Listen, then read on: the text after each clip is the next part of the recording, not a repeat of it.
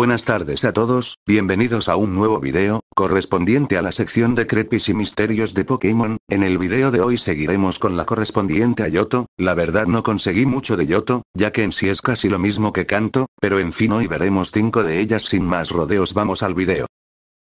El fantasma de rojo. Hay muchas teorías que afirman que el rojo que está en el monte plateado al final del juego, no es como tal rojo, sino su fantasma, ya que una vez rojo venció a Lance, se dirigió al monte plateado a entrenar, pero debido a que el frío era intenso rojo no pudo sobrevivir y murió congelado, antes de que digas algo niño rata, hay imágenes que sustentan esta teoría ya que se ve a un rojo delgado, pálido y con signos de congelamiento, y de hecho al instante en el que encuentras a rojo en la cima del monte plateado, en las versiones de oro, plata, Gear Gold y Soul Silver hay una fuerte nevada que hace alusión al instante en el que Rojo murió y al derrotarlo simplemente desaparece ante nuestros propios ojos, ¿qué opinas tú?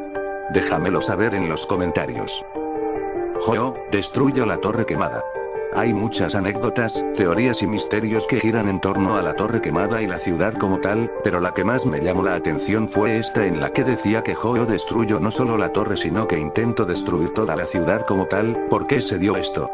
Cuentan que la torre quemada era una especie de altar en el cual se rendía tributo a dicho Pokémon, los humanos iban a adorarlo y darle ofrendas, pero un día Morty, líder del gimnasio fantasma quiso hacer algo que a Joe no le gustó, usando su habilidad con los Pokémon de tipo fantasma algo que no solo era malo para Joe, sino que también para toda la ciudad como tal, esta falta causó el enojo del ave legendaria, provocando que arremetiera contra la torre y toda la ciudad, incendiándola en forma de Armagedón al ver esto. Los tres perros legendarios que estaban en Yoto Suicune, Entei y Raikou, unieron fuerzas para detener a Ho lo que armó una guerra entre los cuatro, dando como resultado el exilio de Ho y el castigo a Morty de vivir en la oscuridad y las sombras, lo que explicaría por qué su gimnasio es oscuro, no es porque no haya luz XD, sino porque hace alusión al oscuro pasado de Morty, que él nos dice en el mismo juego, se creó el ala arcoiris y las chicas kimono quienes serían las únicas que podrían calmar a Ho en caso de que se saliera de control. ¿Qué opinas tú? El Team Rocket manipula la evolución en secreto.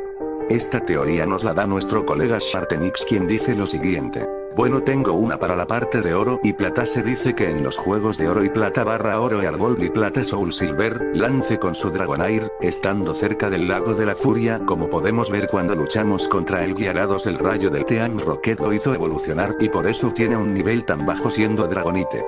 No es la primera vez que vemos al Team Rocket, influyendo en el ADM Pokémon ni la última, es un misterio que puede traer bastantes teorías e hipótesis, pero se los dejo a ustedes que me digan qué opinan de ello.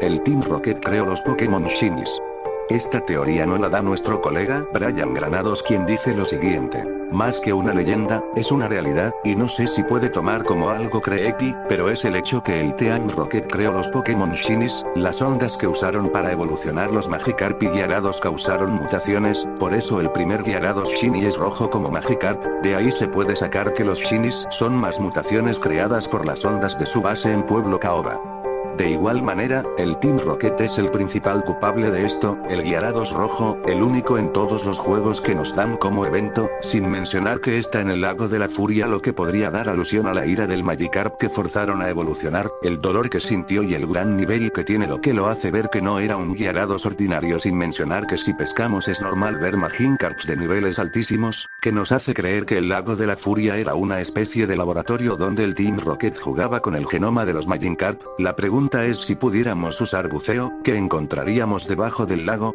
Quiero saber tu opinión en los comentarios. La extinción de algunas especies por la caza excesiva. Esta teoría también no la da nuestro colega Brian, quien dice lo siguiente. Aún así tengo otro más, y es más en general, y es el por qué no se encuentran todas las especies en todas las regiones, ya sabes, Pokémon como Ratata no Emosino, aunque supuestamente se pueden reproducir muy rápido, y es el hecho que en el pasado se experimentaba y cazaban Pokémon sin parar, llevando al punto de la extinción de algunas especies en toda la región, así surgieron organizaciones como la Fundación Ater. Si lo ponemos en la vida real Ratata, Raticate y Cizagun son roedores animales que por naturaleza son de rápida reproducción lo que lo hace ser llamados plagas. Son de los animales más comunes en el mundo literalmente los hay en todas partes. Volviendo a Pokémon, para que no se vean normalmente debe ser por algo, no solo porque a Freak le dio por no ponerlos, sino porque tal vez el Team Rocket y la Fundación Ater buscan algo más allá de la evolución lo que daría algo de explicación del surgimiento de los ultraentes, pero eso lo veremos en otro video. Con esto damos final al video de hoy, quiero agradecer a todos los que ayudaron en el video, recuerda que si quieres participar puedes dejar tus teorías de Joen en los comentarios, o uniéndote a mi server de Discord que lo dejo en la descripción, en la zona Creepis y Leyendas Pokémon, si te gustó el video dale like, comenta y deja tu suscripción, estamos a solo 4 personas de 300 así que animo con ese botón de suscripción, nos vemos en un siguiente video hasta la próxima.